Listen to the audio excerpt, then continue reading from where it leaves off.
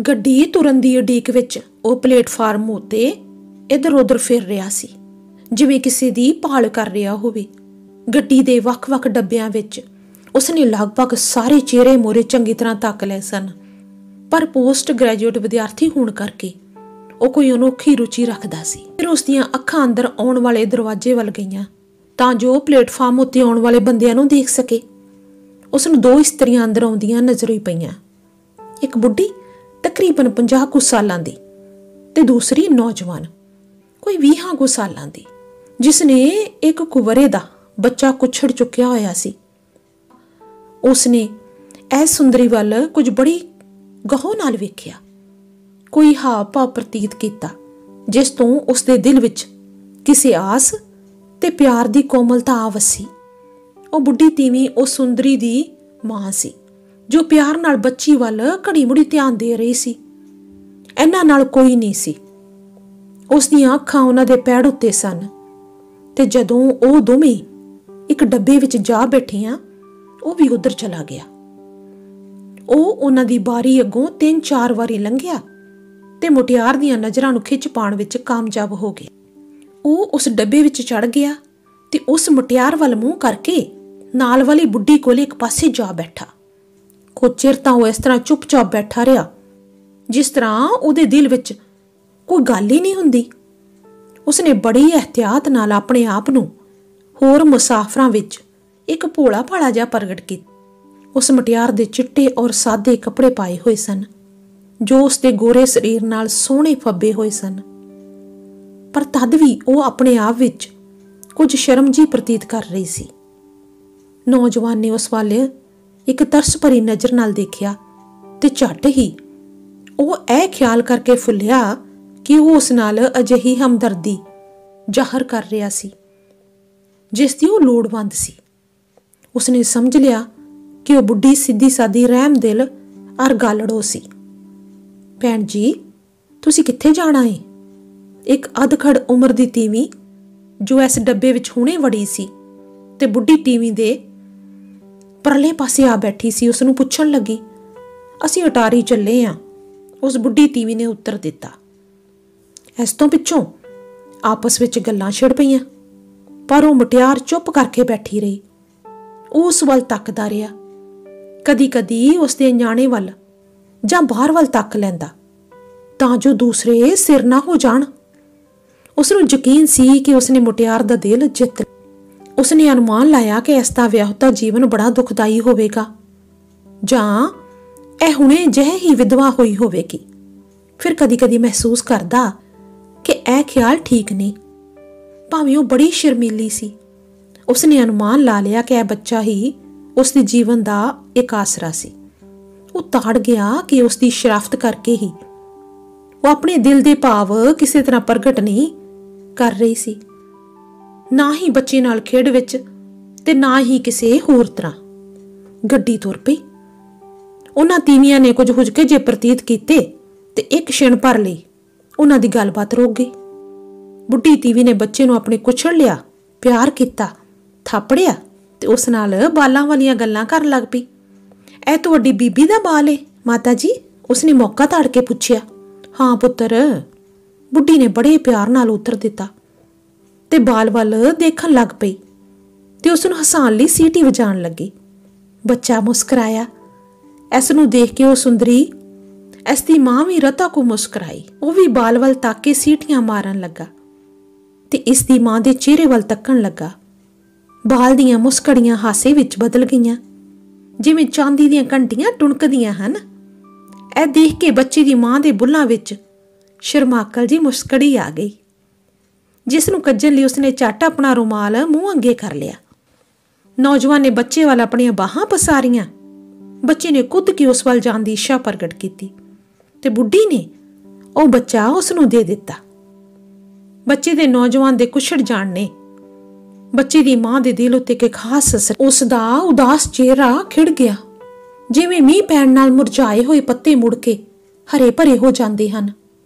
ਆਪਣੀ ਮਾਂ ਨਾਨੀ ਦੇ ਪਿਆਰ ਮਗਰੋਂ ਮਰਦਾਵੇਂ ਹੱਥਾਂ ਵਿੱਚ ਜਾ ਕੇ ਬੱਚੀ ਨੇ ਇੱਕ ਖਾਸ ਖੁਸ਼ੀ ਪ੍ਰਤੀਤ ਕੀਤੀ। ਉਸ ਮੁਟਿਆਰ ਦੇ ਦਿਲ ਵਿੱਚ ਇੱਕ ਨਵੀਂ ਜੀਵਨ ਰੋ ਆ ਗਈ। ਉਸ ਦਾ ਚਿਹਰਾ ਦਗਦਗ ਕਰਨ ਲੱਗਾ। ਉਸਨੇ ਇਸ ਗੱਲ ਦੀ ਰਤਾ ਵੀ ਪਰਵਾਹ ਨਾ ਕੀਤੀ ਕਿ ਉਹ ਆਪਣੇ ਦਿਲ ਵਿੱਚ ਕੀ ਖਿਆਲ ਕਰਦਾ ਹੋਵੇਗਾ। ਉਹ ਕਿਸੇ ਦੀ ਵੀ ਕੋਈ ਵੀ ਪਰਵਾਹ ਨਾ ਕਰਦੀ ਹੋਈ ਪ੍ਰਤੀਤ ਹੋਣ ਲੱਗੀ। ਜਿਵੇਂ ਉਹ ਸਾਰੇ ਘਰ ਦੇ ਇੱਕ ਕਮਰੇ ਵਿੱਚ ਬੈਠੇ ਹੁੰਦੇ ਹਨ। ਉਸਨੇ ਬੱਚੀ ਦਾ ਖੇਡ ਦਾ ਹੱਥ ਫੜ ਲਿਆ, ਜਿਸ ਨਾਲ ਦੋਹਾਂ ਦਿਲਾਂ ਵਿੱਚ ਇੱਕ ਅਜਿਹੀ ਤਾਰ ਖੜਕ ਗਈ, ਜਿਵੇਂ ਖਾਵਨ ਤੀਵੀ ਦੀ ਪਿਆਰ ਦੀ ਹੁੰਦੀ, ਪਰ ਫਿਰ ਝੱਟ ਹੀ ਛੱਡ ਦਿੱਤਾ। ਜਿਵੇਂ ਉਸਨੇ ਇਸ ਰਾਹੀਂ ਬਿਜਲੀ ਦਾ ਝਟਕਾ ਪ੍ਰਤੀਤ ਕੀਤਾ ਹੋਵੇ। ਕੁਝ ਚਿਰ ਲਈ ਉਸਨੇ ਬੱਚੇ ਤੋਂ ਉਸ ਵੱਲੋਂ ਧਿਆਨ ਕਿਸੇ ਹੋਰ ਪਾਸੇ ਲਾ ਲਿਆ। ਪਰ ਹੁਣ ਉਹ ਉਦਾਸ ਦਿਖਾਈ ਨਹੀਂ ਸੀ ਦੇ ਰਹੀ। ਮਾਤਾ ਜੀ, ਤੁਸੀਂ ਕਿੱਥੋਂ ਆਏ ਹੋ? ਨੌਜਵਾਨ ਨੇ ਬੁੱਢੀ ਕੋਲੋਂ ਪੁੱਛਿਆ। ਤੇ ਉਹ ਬਾਲ ਉਸ ਨੂੰ ਦੇ ਦਿੱਤਾ, ਤਾਂ ਜੋ ਕਿਸੇ ਤਰ੍ਹਾਂ ਸ਼ੱਕ ਨਾ ਕਰ ਲਵੇ। ਉਹ ਚਾਹੁੰਦਾ ਸੀ ਕਿ ਬੱਚੇ ਨਾਲ ਖੇਡਣ ਦੀ ਥਾਂ ਉਹ ਉਸ ਨਾਲ ਗੱਲਾਂ ਕਰੇ। ਚੀਚਾ ਵਤਨੀ ਤੋਂ, ਚੀਚਾ ਵਤਨੀ ਤੋਂ ਕਾਕਾ, ਬੁੱਢੀ ਨੇ ਉੱਤਰ ਦਿੱਤਾ, ਉੱਥੇ ਸਾਡਾ ਘਰ ਏ। ਉਸਨੇ ਆਪੇ ਹੀ ਕਿਹਾ, ਤੇ ਅਸੀਂ ਅਟਾਰੀ ਚੱਲੇ ਆ। ਉੱਥੇ ਮੇਰੀ ਧੀ ਦੇ ਸਹੁਰੇ ਨੇ, ਇਹ ਵਿਧਵਾ ਏ। ਇਸ ਦੇ ਖਾਵੰਦ ਨੂੰ ਗੁਜ਼ਰਿਆ ਕੋਈ 8 ਕੁ ਮਹੀਨੇ ਹੋ ਗਏ ਨੇ।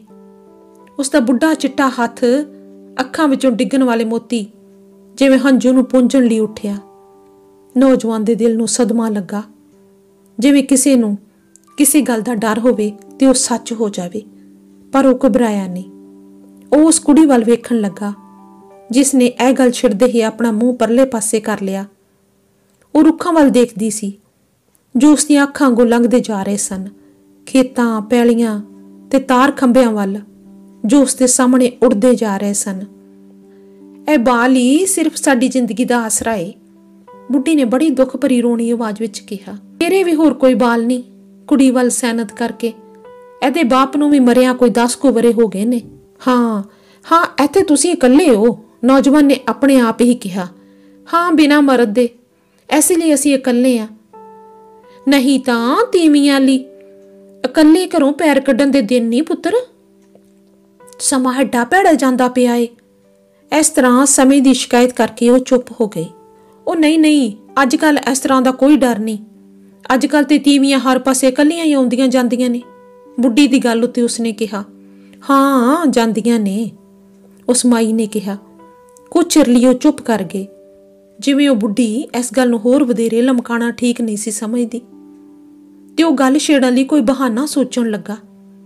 ਭਾਵੇਂ ਉਸ ਨੂੰ ਗੱਲ ਕਰਨ ਦੀ ਲੋੜ ਨਹੀਂ ਸੀ, ਕਿਉਂਕਿ ਉਹ ਬੁੱਢੀ ਮਾਈ ਆਪ ਹੀ ਬੜੀ ਗਲਾਦੜ ਸੀ। ਪੁੱਤਰ, ਤੂੰ ਕਿੱਥੋਂ ਆਇਆ ਏ? ਮਾਈ ਨੇ ਪੁੱਛਿਆ।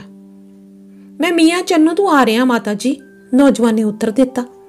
ਤੂੰ ਕਿਤੇ ਨੌਕਰੇ ਕਾਕਾ? ਨਹੀਂ ਜੀ, ਮੈਂ ਅਜੇ ਲਾਹੌਰ ਪੜਨਾ ਵਾਂ। ਪਰ ਹੁਣ ਮੈਂ ਪੱਤੋ ਕੀ ਚੱਲਿਆ ਵਾਂ? ਕਿਹੜੀ ਜਮਾਤ ਤੋਂ ਪੜਨਾ ਏ? ਜੀ ਮੈਂ ਐਮਏ ਵਿੱਚ ਪੜਨਾ ਵਾਂ। ਤੈਨੂੰ ਲਾਹੌਰ ਪੜਦਿਆਂ ਕਿੰਨਾ ਚਿਰ ਹੋ ਚੱਲਿਆ ਏ? ਜੀ ਇਹ ਮੇਰੇ ਛੇਵਾਂ ਵਰਾ ਏ। ਕਿੰਨਾ ਚਿਰ? ਇੰਨਾ ਚਿਰ ਉਹ ਜੋ ਰੱਖ ਨਾਲ ਉਸ ਮਟਿਆਰ ਵੱਲ ਤੱਕਦਾ ਰਿਹਾ। ਇਹ ਜਾਣਨ ਲਈ ਕਿ ਇਸ ਗੱਲਬਾਤ ਦਾ ਉਸ ਉੱਤੇ ਕੋਈ ਅਸਰ ਹੁੰਦਾ? ਦੇਖਣ ਨੂੰ ਤਾਂ ਉਹ ਬੱਚੇ ਨੂੰ ਖਿਡਾ ਰਹੀ ਸੀ, ਪਰ ਇਹ ਇੱਕ ਬਹਾਨਾ ਸੀ। ਉਹ ਚੰਗੀ ਤਰ੍ਹਾਂ ਸਮਝਦਾ ਸੀ। ਉਸ ਕੁੜੀ ਨੇ ਸਾਰੀਆਂ ਗੱਲਾਂ ਸੁਣੀਆਂ ਸਨ। ਉਸ ਨੂੰ ਕੁੜੀ ਤੇ ਇਸ ਵਤੀਰੇ ਤੇ ਰਤਾ ਕੋ ਨਾਰਾਸਤਾ ਹੋਈ। ਕਿੱਡੀ ਬੇਪਰਵਾਹ! ਇੱਕ ਹੁਸ਼ਿਆਰ ਕੁੜੀ ਜ਼ਰੂਰ ਹੀ ਮੇਰੀਆਂ ਗੱਲਾਂ ਵੱਲ ਧਿਆਨ ਦਿੰਦੀ। ਉਸਨੇ ਖਿਆਲ ਕੀਤਾ ਤਾਂ ਤੇ ਤੂੰ ਕੋਈ ਵੱਡਾ ਅਫਸਰ ਬਣੇਗਾ? ਬੁੱਢੀ ਮਾਈ ਨੇ ਇੱਕ ਫਲਾਣ ਲਈ ਤੇ ਕੁਝ ਗੰਭੀਰਤਾ ਨਾਲ ਕਿਹਾ। ਮੁੰਡਾ ਹੌਲੀ ਜੀ ਹੱਸਿਆ, ਪਰ ਉਸਦੇ ਦਿਲ ਵਿੱਚ ਕੁਝ ਇਸ ਗੱਲ ਤੋਂ ਨਾਰਾਜ਼ਤਾ ਸੀ ਕਿ ਉਸ ਮੁਟਿਆਰ ਦੋਸਤ ਦੀਆਂ ਗੱਲਾਂ ਵੱਲ ਕੋਈ ਧਿਆਨ ਨਹੀਂ ਸੀ। ਮੇਰਾ ਜਵਾਈ 100 ਰੁਪਏ ਮਹੀਨਾ ਲੈਂਦਾ ਸੀ।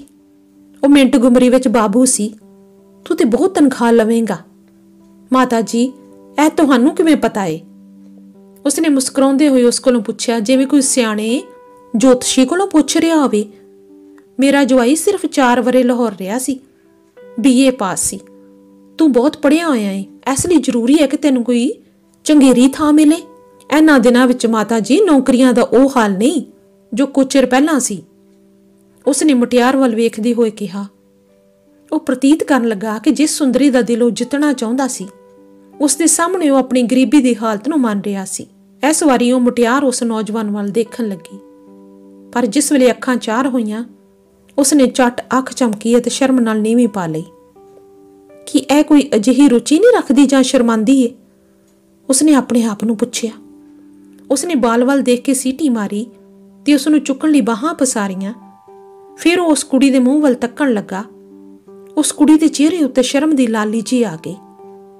ਉਹ ਬਾਲ ਵੱਲ ਤੱਕ ਕੇ ਸੀਟੀ ਮਾਰਨ ਲੱਗਾ ਤੇ ਬਾਲ ਉਸ ਵੱਲ ਕੁੱਦਿਆ। ਜਿਸ ਵੇਲੇ ਉਹ ਉਸ ਨੂੰ ਬਾਲ ਫੜਾਉਣ ਲੱਗੀ ਤਾਂ ਉਸ ਦੇ ਹੱਥ ਇੱਕ ਦੂਜੇ ਨਾਲ ਛੂ ਗਏ। ਉਹ ਬਾਲ ਨੂੰ ਖਿਡਾ ਰਿਹਾ ਸੀ, ਪਰ ਉਸ ਦਾ ਧਿਆਨ ਉਸ ਮੁਟਿਆਰ ਵੱਲੋਂ ਮੋੜ ਨਹੀਂ ਸਕਦਾ ਸੀ। ਕੁੜੀ ਦੀ ਚੁੰਨੀ ਥੱਲੇ ਖਿਸਕ ਗਈ। ਉਹ ਉਸ ਵੱਲ ਦੇਖਦਾ ਰਿਹਾ, ਪਰ ਕੁੜੀ ਹਿਆ ਨਾ ਕਰ ਸਕੀ ਕਿ ਉਸ ਵੱਲ ਅੱਖ ਭਰ ਕੇ ਤੱਕੀ। ਗੱਡੀ ਹੌਲੀ ਹੋਈ ਤੇ ਇੱਕ ਸਟੇਸ਼ਨ ਤੇ ਜਾ ਕੇ ਖੜੀ ਹੋਈ। ਉਸ ਲਈ ਅਜੇ 1 ਘੰਟੇ ਦਾ ਸਫ਼ਰ ਬਾਕੀ ਸੀ। ਉਹ ਚਾਹੁੰਦਾ ਸੀ ਕਿ ਮੈਂ ਕਿਸ ਤਰ੍ਹਾਂ ਉਸ ਕੁੜੀ ਕੋਲ ਜਾ ਬੈਠਾਂ। ਗੱਡੀ ਖੜੀ ਹੋਣ ਨਾਲ ਉਸ ਨੂੰ ਮੌਕਾ ਮਿਲ ਗਿਆ। ਬਾਲ ਨੂੰ ਉਸ ਦੀ ਮਾਂ ਕੋਲ ਦੇ ਕੇ ਉਹ ਪਲੇਟਫਾਰਮ ਉੱਤੇ ਉਤਰ ਗਿਆ। ਬੁੱਢੀ ਮਾਈ ਜੋ ਕੁਝ ਥਕੇਵਾਂ ਪ੍ਰਤੀਤ ਕਰ ਰਹੀ ਸੀ, ਆਪਣੇ ਨਾਲ ਦੀ ਦੀ ਥਾਂ ਵੇਲੀ ਦੇਖ ਕੇ ਲੰਮੀ ਪੈ ਗਈ। ਜਦੋਂ ਗੱਡੀ ਤੁਰ ਪਈ, ਉਹ ਫੇਰ ਉਸ ਡੱਬੇ ਵਿੱਚ ਆ ਗਿਆ ਤੇ ਆਪਣੀ ਥਾਂ ਉੱਤੇ ਮਾਈ ਨੂੰ ਲੇਟੀ ਦੇਖ ਕੇ ਉਸ ਕੁੜੀ ਕੋਲ ਜਾ ਬੈਠਾ। ਪਹਿਲਾਂ ਤਾਂ ਉਹ ਕੁੜੀ ਝਿਜਕੀ ਪਰ ਫਿਰ ਉਸਨੇ ਕੋਈ ਪਰਵਾਹ ਨਾ ਕੀਤੀ। ਉਸ ਡੱਬੇ ਵਿੱਚ ਬਹੁਤ ਭੀੜ ਨਹੀਂ ਸੀ, ਖਾਸ ਕਰਕੇ ਉਹਨਾਂ ਦੇ ਕੋਲ ਹੋਰ ਕੋਈ ਨਹੀਂ ਸੀ। ਦੂਜੀ ਅਧਕੜ ਤੀਵੀਂ ਵੀ ਲੇਟੀ ਹੋਈ ਸੀ। ਉਹ ਚਾਹੁੰਦੀ ਸੀ ਕਿ ਬੱਚੇ ਨੂੰ ਚੁੱਕ ਕੇ ਖਿਡਾਵੇ, ਪਰ ਬੱਚੇ ਨੂੰ ਨੀਂਦ ਆਈ ਹੋਈ ਸੀ। ਉਸ ਕੁੜੀ ਨੇ ਸ਼ਾਲ ਦੀ ਬੁੱਕਣ ਮਾਰੀ ਤੇ ਬਾਲ ਨੂੰ ਸਵਾਨ ਲਈ ਉਸ ਨੂੰ ਦੁੱਧ ਦੇਣ ਲੱਗ ਪਈ। ਮੁੰਡੇ ਨੇ ਹੌਸਲਾ ਕਰਕੇ ਹੱਥ ਫੜ ਲਿਆ। ਪਹਿਲਾਂ ਤਾਂ ਉਹ ਬਹੁਤ ਡਰੀ, ਪਰ ਫਿਰ ਜਾਣੂ ਕੁਝ ਹੌਸਲਾ ਕਰ ਲਿਆ ਤੇ ਹੱਥ ਛੁਡਾਉਣ ਦੀ ਕੋਈ ਕੋਸ਼ਿਸ਼ ਨਾ ਕੀਤੀ। ਸੱਚ ਤਾਂ ਇਹ ਹੈ ਕਿ ਉਹ ਸੁੰਦਰੀ ਉਸ ਵੇਲੇ ਸਭ ਕੁਝ ਭੁੱਲ ਚੁੱਕੀ ਸੀ। ਜਿਸ ਵੇਲੇ ਉਸ ਦਾ ਬਾਲ ਉਸ ਦੀ ਗੋਦੀ ਵਿੱਚ ਪਿਆ ਦੁੱਧ ਚੁੰਗ ਰਿਹਾ ਸੀ ਤੇ ਉਸ ਦਾ ਪ੍ਰੇਮੀ ਹੱਥ ਫੜੀ ਬੈਠਾ ਸੀ। ਨੌਜਵਾਨ ਦੇ ਉਤਰਨ ਦੀ ਥਾਂ ਨੇੜੇ ਆ ਰਹੀ ਸੀ, ਪਰ ਦੋਹਾਂ ਦੇ ਮੂੰਹ ਤੋਂ ਕੋਈ ਗੱਲ ਨਹੀਂ ਸੀ ਨਿਕਲਦੀ। ਉਹ ਚੁੱਪਚਾਪ ਉਸ ਉਪਰੀ ਜੀ ਸ਼ੋਅ ਦਾ ਆਨੰਦ ਮਾਣ ਰਹੇ ਸਨ। ਉੜਕ ਉਹਨਾਂ ਦੇ ਵਿਛੜਨ ਦਾ ਸਮਾਂ ਆ ਗਿਆ।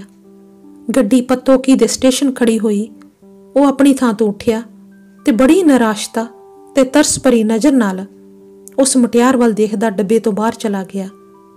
ਉਹ ਮਟਿਆਰ ਹੁਣ ਆਪਣੇ ਆਪ ਨੂੰ ਬਿਆਸਰਾ ਤੇ ਇਕੱਲੀ ਜੀ ਪ੍ਰਤੀਤ ਕਰਨ ਲੱਗੀ, ਜੋ ਕੋਚਰ ਪਹਿਲਾਂ ਇੱਕ ਤਰ੍ਹਾਂ ਨਾਲ ਸੁਹਾਗ ਦਾ ਮਿੱਠਾ ਜਿਹਾ ਮਾਸੂਮ ਆਨੰਦ ਮਾਣ ਰਹੀ ਸੀ, ਆਪਣੇ ਆਪ ਨੂੰ ਮੁੜ ਵਿਧਵਾ ਪ੍ਰਤੀਤ ਕਰਨ ਲੱਗੀ।